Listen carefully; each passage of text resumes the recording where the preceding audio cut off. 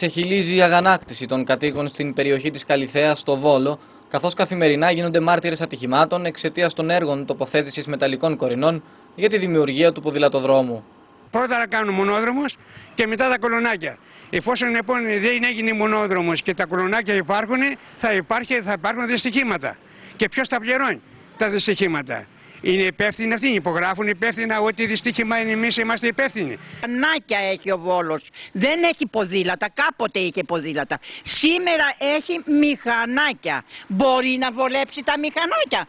Μάλιστα. Αλλά τα ποδήλατα, ποια ποδήλατα βλέπει κανένα να περνάει. Δεν έχει περάσει κανένα από το πρωί.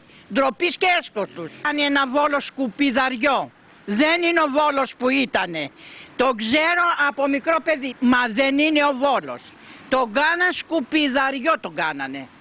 Έχουν γίνει τροχέα εδώ, έχουμε τρομάξει νύχτα τρεις η ώρα και τους παίρνουν κομματιασμένους απ' εδώ για όνομα του Θεού. Τι είναι αυτό το πράγμα; Όπως λένε οι κάτοικοι, από τότε που τοποθετήθηκαν τα τσιμεντένια πλαίσια με τις μεταλλικές κορίνες, η κυκλοφορία γίνεται με δυσκολία στους δρόμους και συχνά συμβαίνουν ατυχήματα. Ε, Ειδικά εδώ στη στρατηγού Μακρυγιάννη με τη μεταμορφώση έχουν γίνει πάρα πολλές φορές ατυχήματα και σοβαρά. Μάλιστα είχαμε και θανατηφόρο ατύχημα. Ε, νομίζω ότι ο Δήμος κακώς ας πούμε τοποθεί, χαλάει ένα, ένα δρόμο ο οποίος ε, ήταν κάπως ικανοποιητικός, τώρα θα γίνει ακόμα πιο προβληματικός.